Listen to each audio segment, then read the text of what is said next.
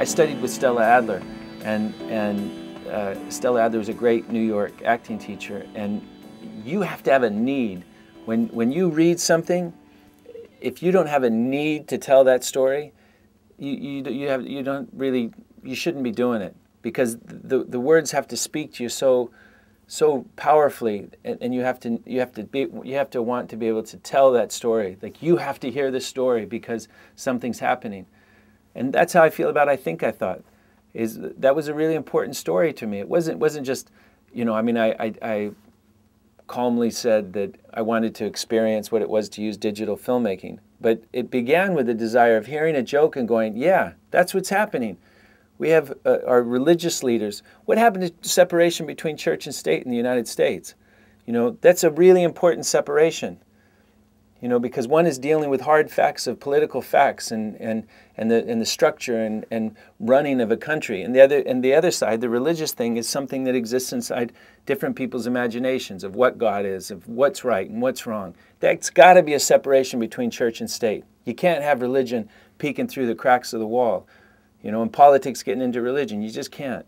That's why, I don't know, Thomas Jefferson uh, said there has to be this separation between church and state. There has to be. Um, but this, uh, you know, political leaders telling us what's what's good for us, what's wrong for us. This is a country of the people, by the people, and for the people. And just downtown, less than two miles from here, we watched those buildings come down. And that's when I realized that living in America, you have to be politically engaged. That if you live in a free and democratic society, you have to participate in the government. You can't allow the government to tell you what's right and what's wrong. This is our country. Those people are elected officials. And if they're doing things that don't represent the will of the people, you have to replace them. You have to bring them up on charges. You have to question them. You know? And the news media uh, is something that's not supposed to, to to tell us what's right and what's wrong, but to, to report. And there's there are, there are absolute rules about about uh, investigative reporting. Don't tell us what you think. Tell us what you know. Investigative reporting is something that's so important to to a society. You know that's why there's freedom of the press.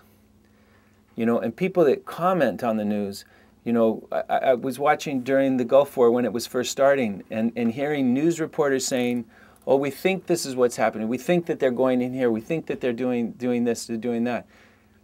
That's so dangerous for our own troops to, to speculate about something like that. You don't think that the enemy's watching CNN? Unless they're using CNN to manipulate those people and make them think that that's what's happening. But, you know, news media, you know, that, that's what Citizen Kane was about.